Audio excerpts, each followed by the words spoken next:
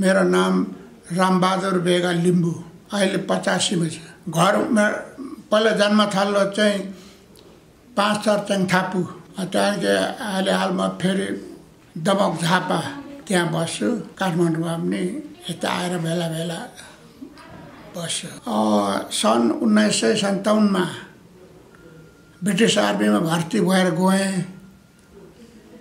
त्यहाँदेखि अठाइस वर्ष त्यहाँ नोकरी गरेँ अन्त फेरि त्यसको सेकेन्डमा बोर्नैमा सात वर्ष। त्यहाँ नोकरी गरेँ त्यहाँ त बुढो भइयो अनि उहाँ आवाकाश आफ्नो आइयो त्यहाँदेखि यसो मेरो नाता नातिनीहरूलाई हेर यसो हेर्ने गर्ने। यो बिरामी त यो अहिले निकै पाएको सबभन्दा पहिला यो मेरा प्रेसर छ त्यो दबाई त धेरै वर्ष भयो खाँदै। त्यहाँदेखि त झन् झन् बुढो हुँदै गयो झन् ऊ के के रोगहरू थपिँदै गयो। अब अहिले यहाँ अस्पतालमा यहाँ यो अस्पतालमा आएको चाहिँ धेरै भयो। पहिलेदेखि यहाँ आउँदै दबाई पानी सबै यहीँबाट नै गर्दैछु अहिले।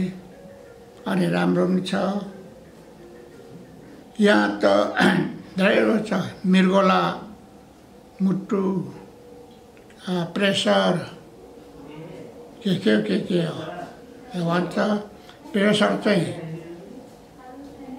पहिल्यै पल्ट नहुँदै भएको तर दबाई खाएन। यहाँ आएपछि त त्यो प्रेसरको दबाई चाहिँ धेरै भयो ऊ खाएको अहिले चाहिँ ऊ डक्टरले ऊ अहिले जानु घरमा सुखबार आउनु भनेको छ मेरो लागि अब आफ्नो कुरा त्यो त अब गरेको छैन यहाँ चाहिँ एक नम्बर सबै तल कर्मचारी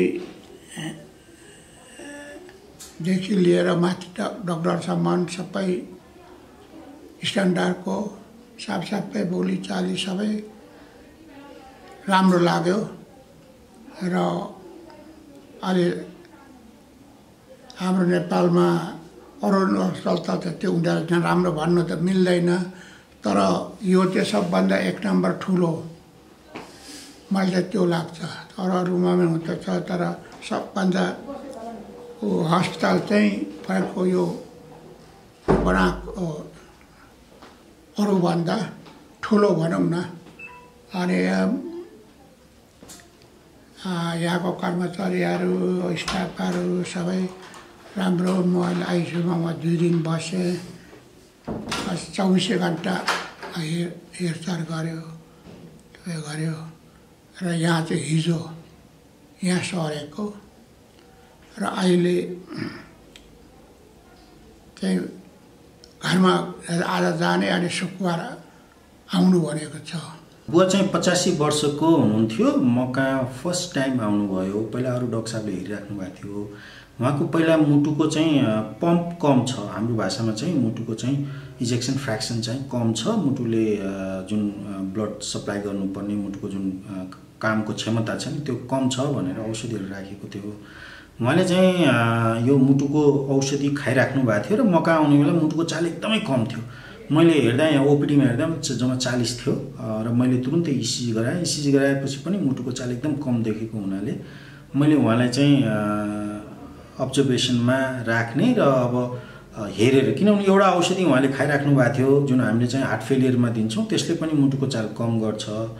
त्यही भएको हुनाले त्यो औषधिलाई बन्द गरेर हामीले चाहिँ अब्जर्भ गरौँ भनेर उहाँलाई मैले भर्ना गरेको थिएँ। अनि अब्जर्भ गर्ने बेलामा उहाँको हार्ट रेट बिस्तारै पिकअप गर्यो किनभने औषधिको कारणले सायद उहाँलाई चाहिँ मुटुको चाल चाहिँ कम भएको थियो। त्यही भएको हुनाले हामीहरूले उहाँलाई अब्जर्भ गऱ्यौँ। अब्जर्भ गर्ने बेलामा आफ्टर चाहिँ लगभग फोर्टी एट आवर्सपछि त्यो औषधिको इफेक्ट गएपछि बिस्तारै मुटुको चाल चाहिँ भनौँ बिस्तारै पिकअप गऱ्यो। अनि उहाँलाई चाहिँ हामीले चाहिँ तिन दिनको यहाँ चाहिँ भनौँ अब्जर्भेसन पछि डिस्चार्ज गरेँ। डिस्चार्ज गरेपछि उहाँ हिजो नै अस्ति फलोअपमा पनि आउनुभएको थियो। अहिले इसिजी गर्दा उहाँको मुटुको चाल एकदम राम्रो छ।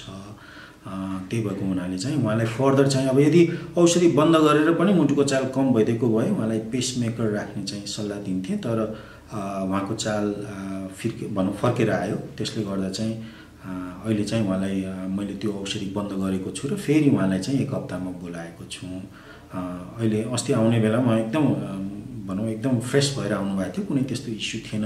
सुरुमा म कहाँ आउने बेला अलिकति रिङ्गाटा लाग्ने अनि डिजिनेस अनि कमजोर किनभने मुटुको चाल कम भयो भने त्यो सिम्टमहरू डेफिनेटली हुन्छ। त्यही नै थियो। अस्ति आउँदा चाहिँ उहाँ फ्रेस हुनुहुन्थ्यो। मैले फेरि एक हप्तामा बोलाएको छु इसिजी गरेर हेरेर अनि फर्दर के गर्ने प्लान चाहिँ हामी चाहिँ फेरि एक हप्तामा